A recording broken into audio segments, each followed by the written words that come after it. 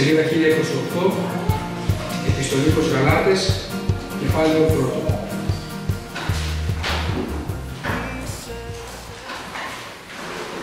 Παύλος, Απόστολος ουχή από ανθρώπων, ουδέ δι' ανθρώπου, αλλά δι' Ιησού Χριστού και Θεού Πατρός, που αναστήθατος Αυτόν εκ νεκρών.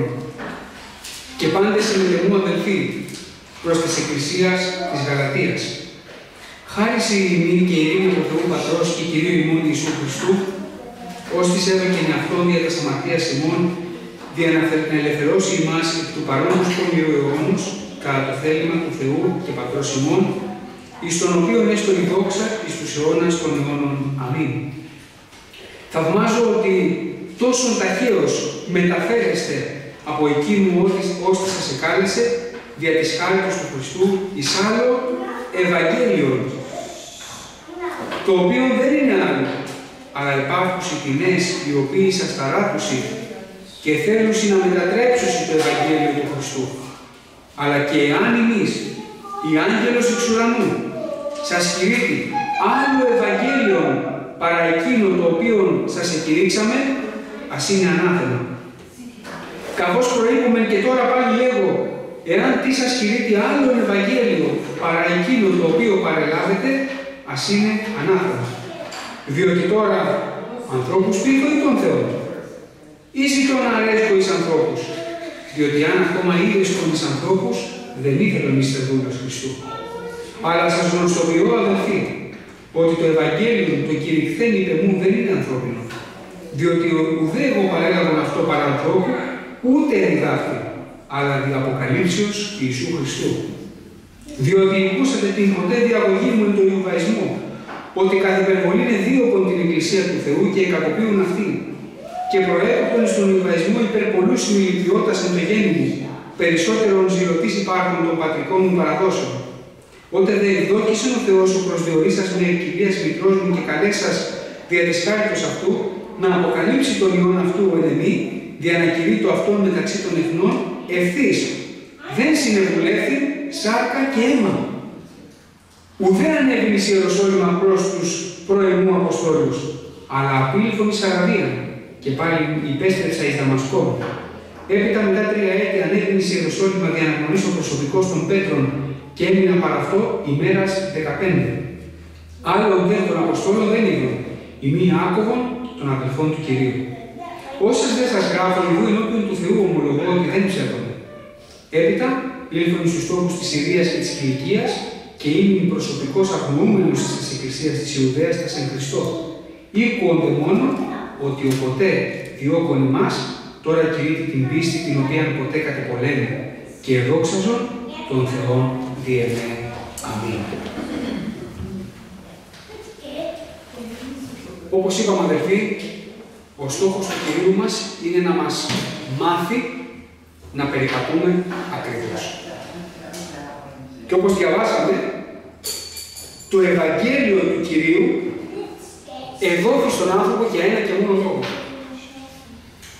Ώστις έδωκε με αυτόν δια τα σαμαρτία ημών, δια να ελευθερώσει εμάς εκ του παρόντος πονηρού αιώνος κατά το θέλημα του Θεού και Πατρός ημών.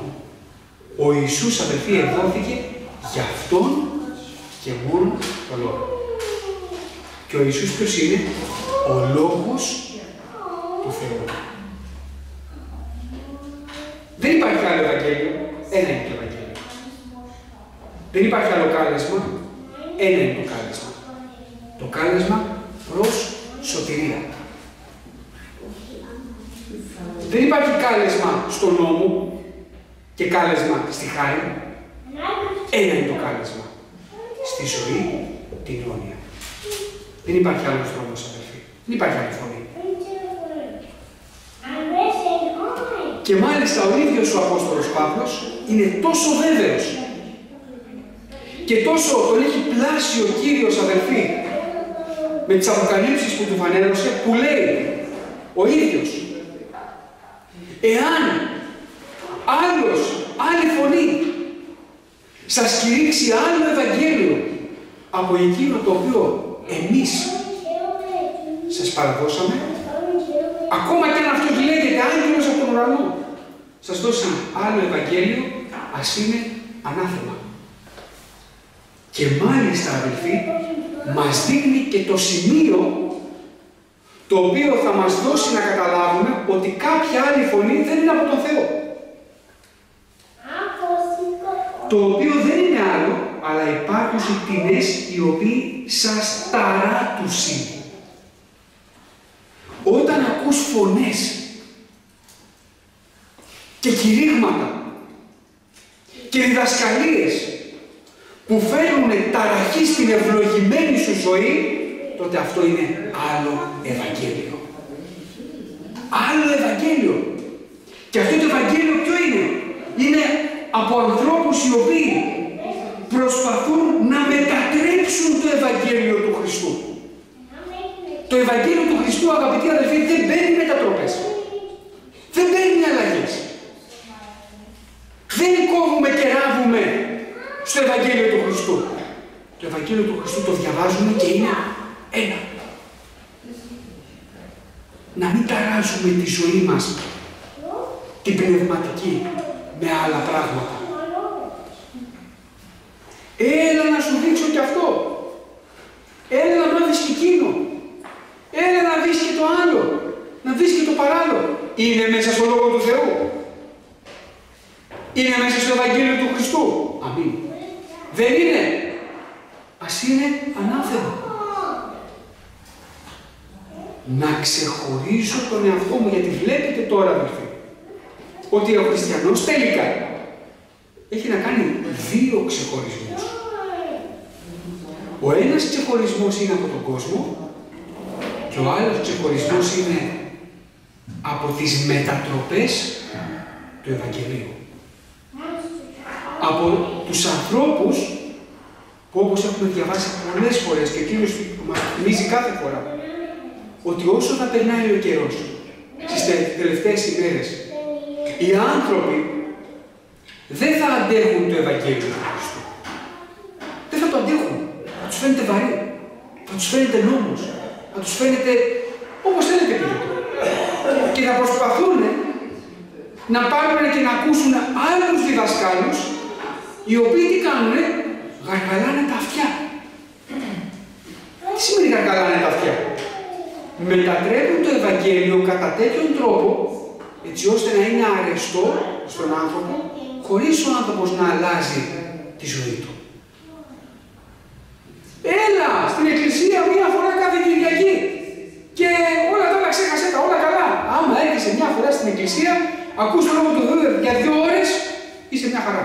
Δεν έχεις καμιά άλλη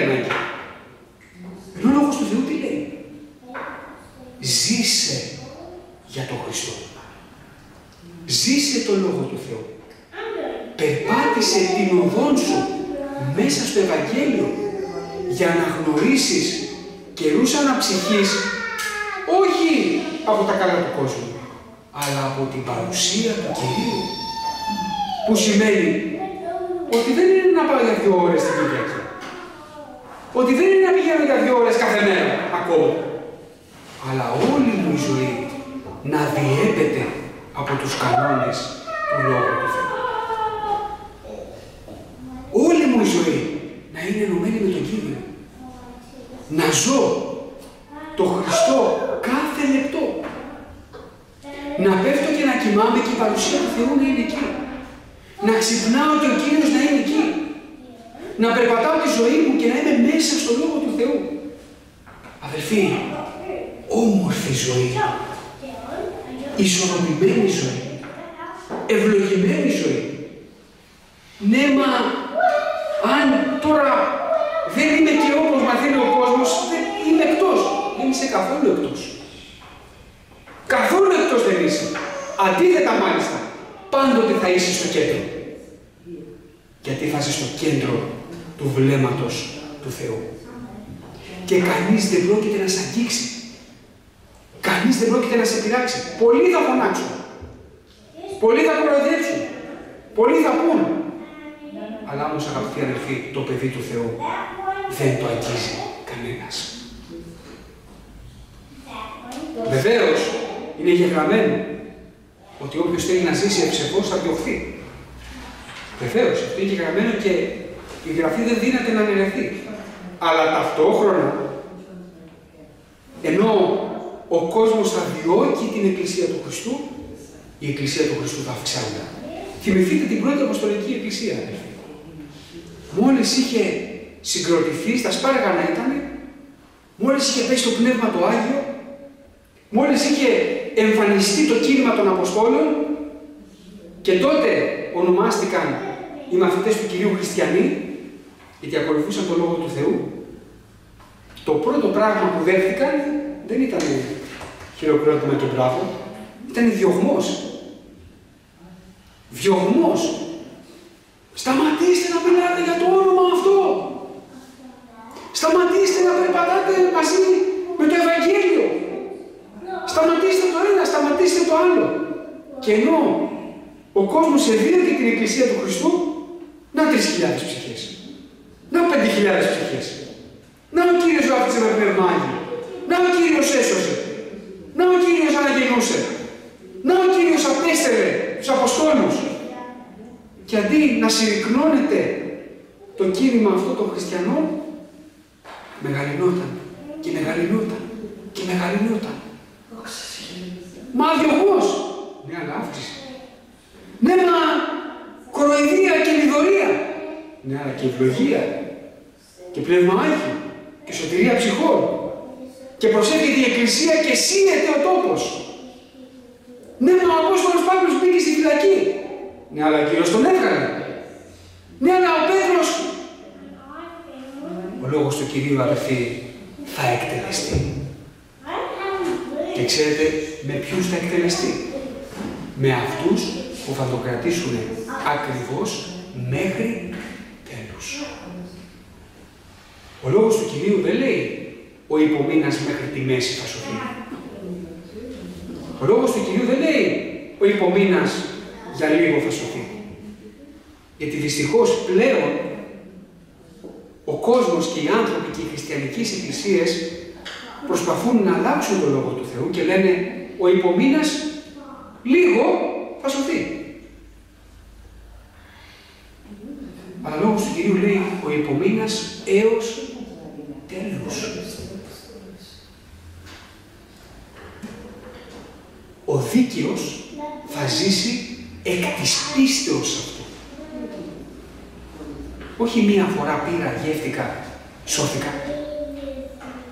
Αλλά σώθηκα γιατί; Γιατί διαρκώς μέσα μου κατοικεί ο Λόγος του Θεού. Διαρκώς μέσα μου υπάρχει η φωτιά του Πνεύματος του Αγίου. Και γονατίζω. Ο Κύριος με πληρώνει Πνεύματος Αγίου. Κατεβαίνει ο ουρανός.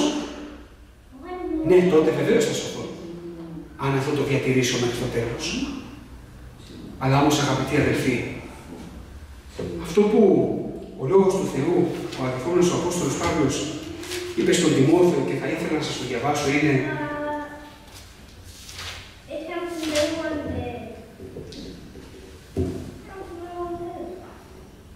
Ταύτα μελέτα, εις ταύτα μένει, δια να είναι φανερά εις πάντας η προκοπή σου. Και τώρα προσέξτε τι λέει ο Λόγος του Θεού. Πρόσεχε τον εαυτό σου και τη διδασκαλία. Και συνεχίζει ο Λόγος του Θεού. Επίμενε εις αυτά. Επίμενε. Όχι μάθετα, άστα και σώθηκες. Πρόσεχε τον εαυτό σου, το περπάτημά σου και τη διδασκαλία. Το Ευαγγέλιο το οποίο σου έδωσα. Όχι κάτι άλλο. Όχι κάτι νεωτερικό. Γιατί πριν και όταν είναι ο Απόστολος Παύλος λέει, πάλι στον Τιμόθεο, τας δε νεωτερικάς, ο λόγος του Θεού λέει, η Γραφή λέει νεανικάς, αλλά το αρχαίο λέει νεωτερικάς. Τας νεωτερικάς επιθυμίας φεύγε. Μα τώρα ο κόσμος εξελίσσεται. Η εποχή μας είναι η εποχή της προόδου και της τεχνολογίας. Πρόοδος μεγάλη. Ναι, αλλά λόγος του Θεού είναι ο ίδιος εχθές, σήμερα και εις τον αιώνα. Δεν θα αλλάξει ποτέ. Οι νεωτερικές επιθυμίες, αγαπητοί αδελφοί, δεν φέρνουν καλό. Και ζήτη τη δικαιοσύνη, την πίστη, την αγάπη, την ειρήνη. Πώς; Μετά των επικαλωμένων των Κύριων εκαθαράς καρδίας.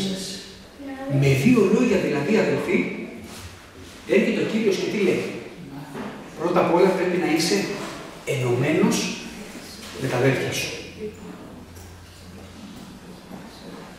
Πρέπει να φυλάς τη διδασκαλία και τον εαυτό σου.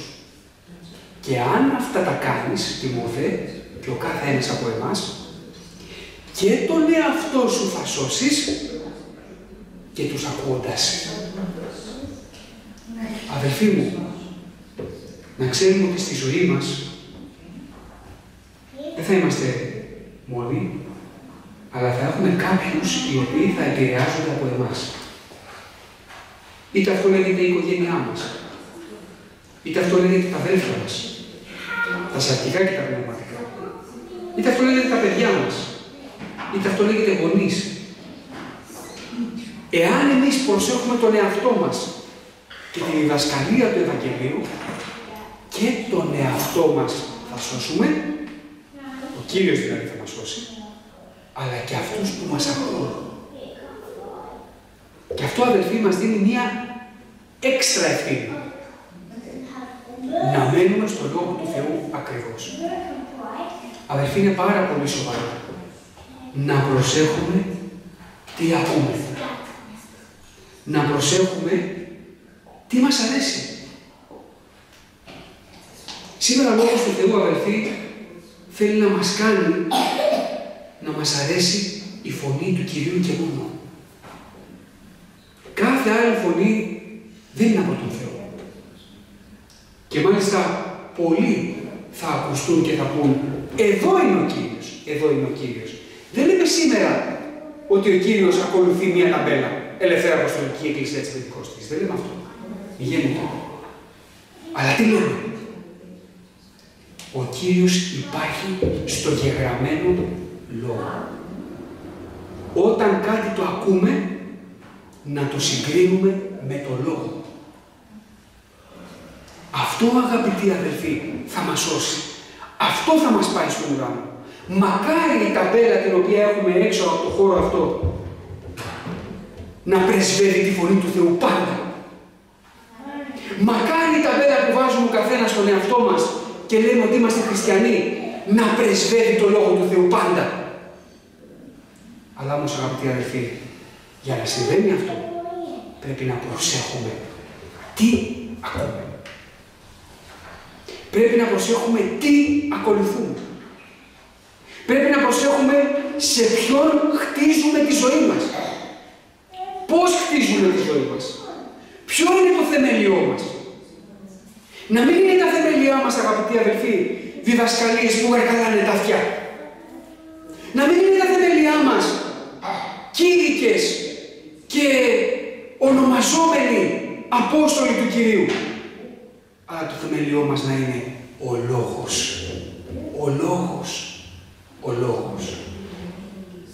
Θυμάμαι μια φορά ήταν ένας αδερφός, πρεσβύτερος, παλιός, παππούς, αγαπητός και πάει ένας αδερφός και του λέει αδερφέ, τι πρέπει να κάνω; Και πόσο μου αρέσει η απάντηση του αδερφού μας του ηλικιωμένου.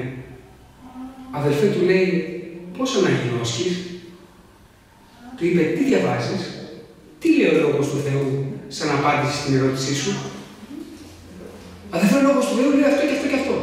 Αυτό να κάνεις. Είναι απλός ο χριστιανισμός, αδερφέ. Δεν είναι σύνθετος. Ο άνθρωπος είναι σύνθετος. Και γίνεται ακόμα και πιο σύνθετος. Και μπερδεύεται και το αποτέλεσμα είναι ταραχή. Γι' αυτό ο Απόστολος Παύλος, το πρώτο πράγμα που είπε στην Εκκλησία εδώ στους Γαλάτες είναι θαυμάζω.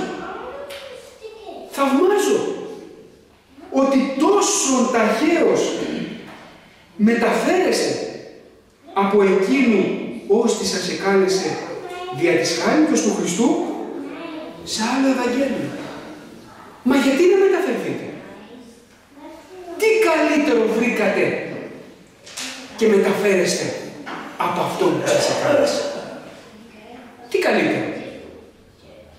Τι σας υποσχέθηκε. Τι είναι αυτό που σας έδωσε παραπάνω πρόσθεσε στο Ευαγγέλιο και εσείς αμέσως εκεί είπατε «Α, ναι, έχεις δίκιο, θα πάμε εκεί». Αυτό, αδερφοί μου αγαπητοί, είναι χαρακτηριστικό ανθρώπων που δεν μελετούν.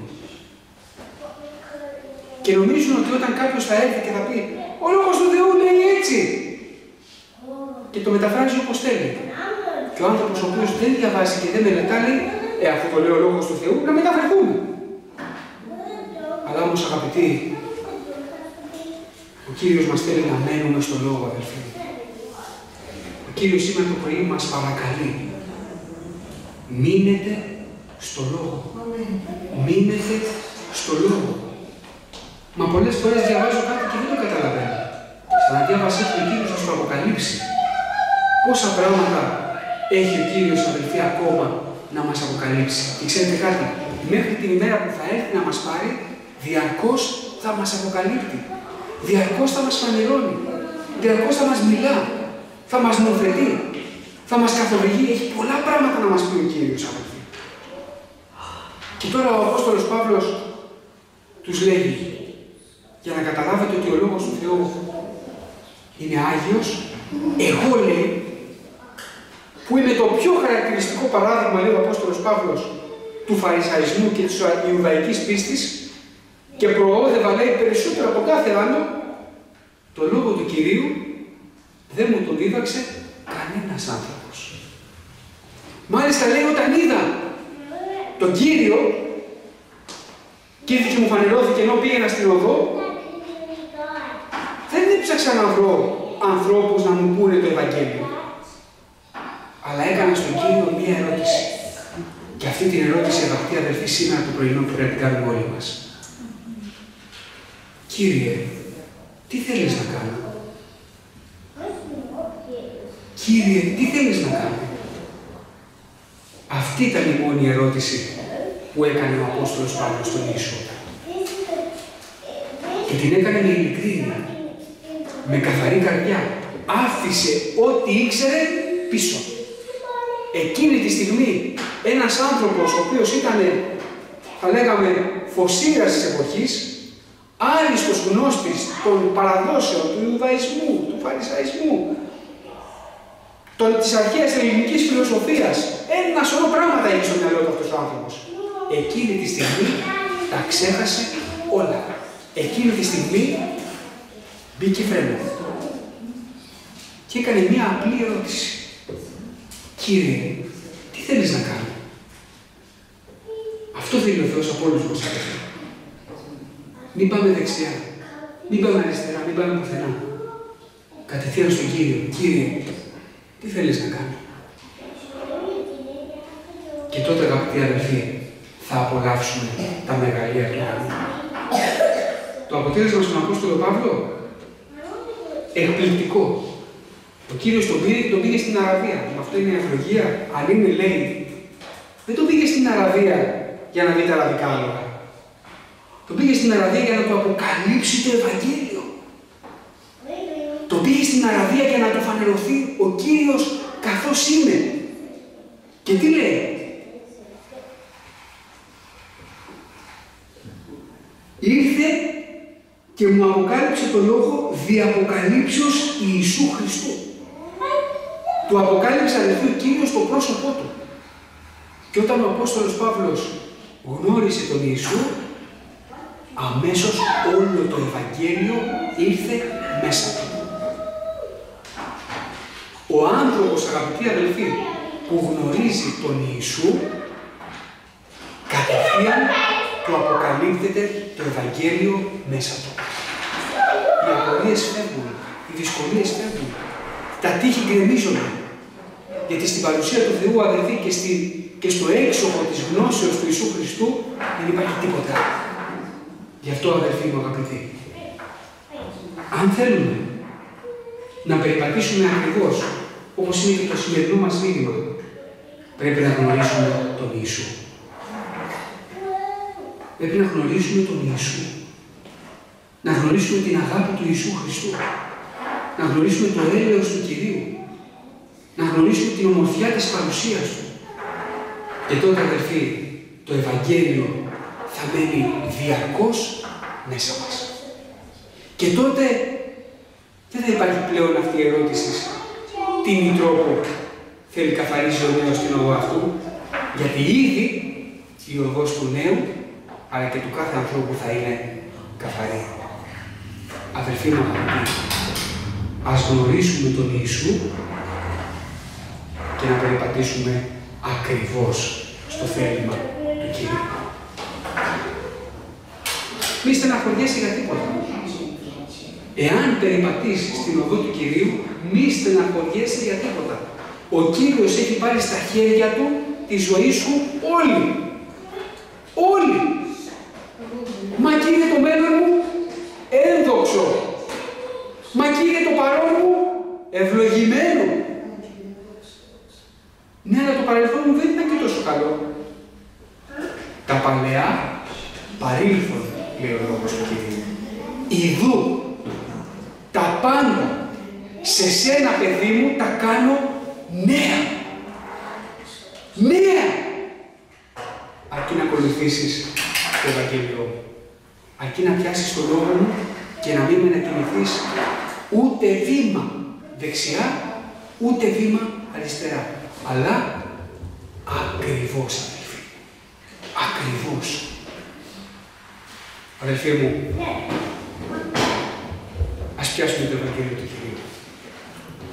Όχι για να το αναγνώσουμε, να του κάνουμε μια απλή ανάγνωση και να πω Κύριε, σε ευχαριστώ γιατί σήμερα διάβασα. Πολύ ωραία, διάβασα. Μελέτα. Επίμενε. Επίμενε είσαι αυτά.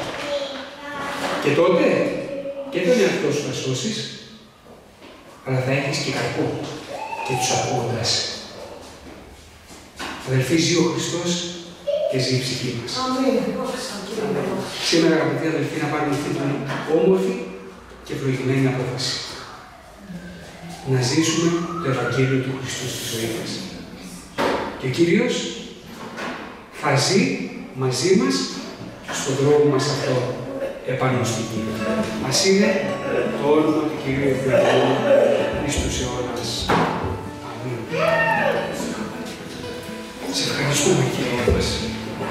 να συσσάλουμε τον αδερφή να μην να γονατίσουμε για 2-3 λεπτά, να ετοιμαστούμε.